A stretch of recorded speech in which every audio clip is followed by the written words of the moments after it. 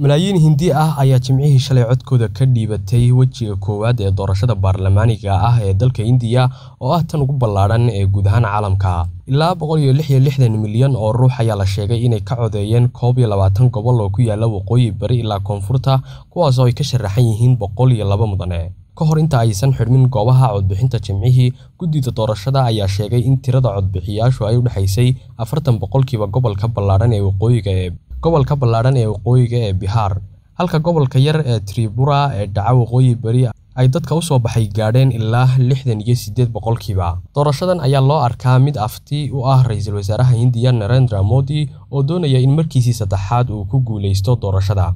Hase yeeshee, xisbigiisa BJP ayaa loolan adag la geli doona in ka badan labiyo toban xisbi oo isugu tegay kuwaas oo wacd ku maray inay badbaadin doonaan hay'adaha dimuqraadiga ee Hindiya.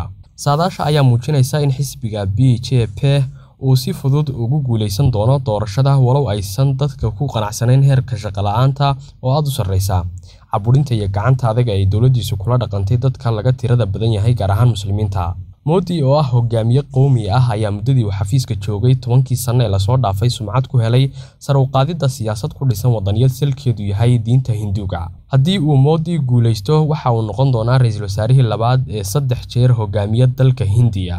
Wejiga labaad ee doorashada Hindiya ayaa lagu wadaa in la qabto lix iyo labaatanka Abriil, markaas oo saddex iyo toban gobol laga soo dooran doono sagaal iyo siddeetan xildhibaan. Wejiga ugu dambeeya ayaa dhici doona kowda Juun, waxaana la soo dooran doonaa toddobiyo konton mudane oo ku tartameysa ilaa siddeed gobol. Isxaaq Cukaashe, CBA TV. maasha allah soo dhowaada.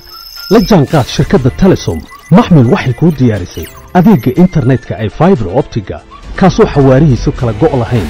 Waa guji waa ishaa biligteeda. Intuu soo gudlanayo hadalba gam.